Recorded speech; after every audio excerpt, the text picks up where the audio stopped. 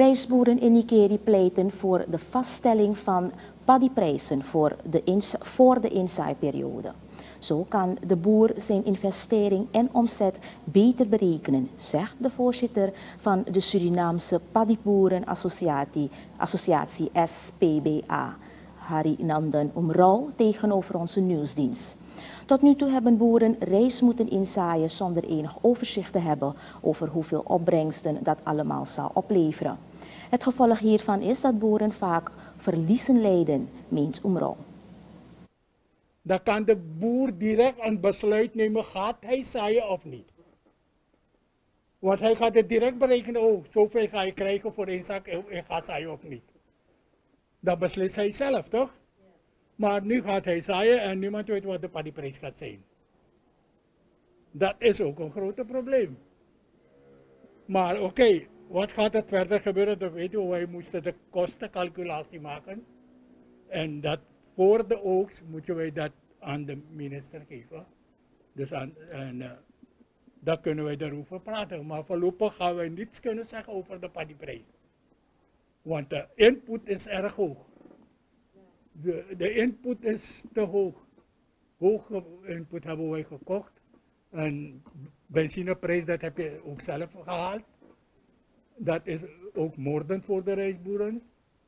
Ik heb het laatst vernomen dat het laatste week is het weer verhoogd. Nu is het 11 zoveel per liter. En dat is te hoog voor ons. Ondanks de economische uitdagingen blijven de boeren in Nikeri toch rijst planten, omdat er geen andere opties zijn, zegt Omro. En uh, als je gaat investeren, dan moet je ook terug verdienen. En dat gebeurt het niet hier. Vooral in de rijstsector gebeurt dat niet. Je verdient niet terug. Want het, het is al twee, drie seizoenen. Boeren hebben hun product beneden de kostprijs verkocht. En dat is een grote verlies voor de boeren. En dan vraagt men, waarom zijn jullie dan? Dan leg ik u uit, waarom zijn jullie wel? Omdat er geen andere werkgelegenheid in Nikedi is. Enige is rijstsector. Bekoven, misschien heb je dat ook gehoord, dat is wat is gebeurd ermee. En andere werkgelegenheid is er niet. Dus wij met onze vrouw en kinderen in het veld, daar we verdienen, we leven ermee. Schuld gaat omhoog je hebt een paar van de boeren die hebben ook geen schuld, die kunnen het makkelijk aflossen. Vooral de grote boeren, die hebben altijd goed.